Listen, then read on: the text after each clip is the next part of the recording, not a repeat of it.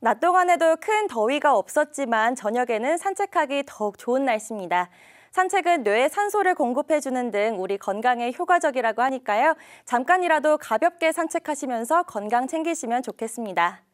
오늘은 완연한 봄을 만끽할 수 있었는데요. 토요일은 내일은 다시 더 더워지겠습니다. 낮 기온이 평년보다 3도에서 5도 높아져서요. 광주 31도까지 오르겠고요. 비가 내리면서 모레는 기온이 제자리로 돌아오겠습니다.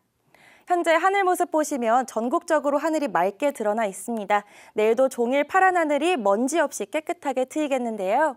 맑은 하늘 아래 자외선은 매우 강하겠습니다. 되도록 그늘에 머무시면서 피부 상하지 않도록 햇볕 잘 피하시기 바라고요.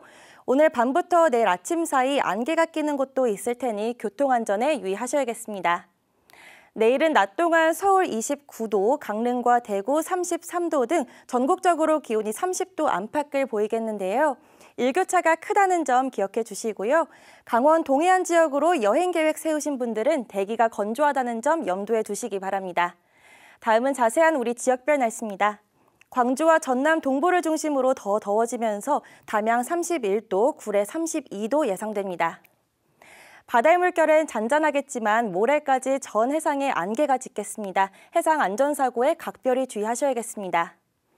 일요일 오후부터 내릴 비는 월요일 오전까지 이어지겠는데요. 비가 그치고 나면 더위는 누그러지겠습니다. 날씨였습니다.